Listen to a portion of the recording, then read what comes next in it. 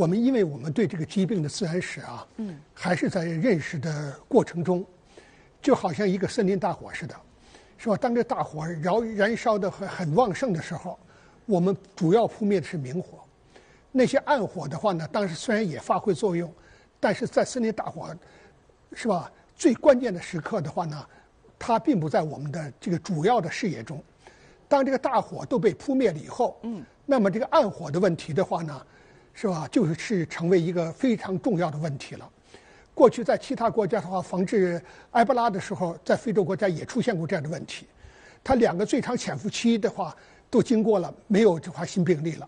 但是两个潜伏期之后，是吧？世界卫生组织宣布已经控制了，后来又发现病例了。这说明什么的话呢？对这些疾病的话呢，呃，当我们没有。没有发现确诊病人的时候，是不是病病毒已经完全消失了，是吧？这个的话就是我们需要的话观察的一个一个一个一个一个风险。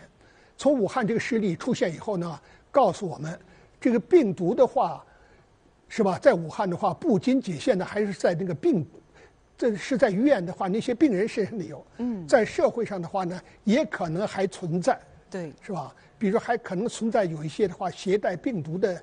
这些的话，病毒的携带者，或是这个还有这个无症状感染者，嗯，以及的话呢，将来还有一种可能，出院的病人，有些病人的话呢，是不是的话，他也是还作为一种排毒者，对，所以整个这个疾病自然史的认识的过程中，我们必须提高警警惕。嗯，好，我看武汉现在的话呢，加加强封闭就是应该是完全正确的。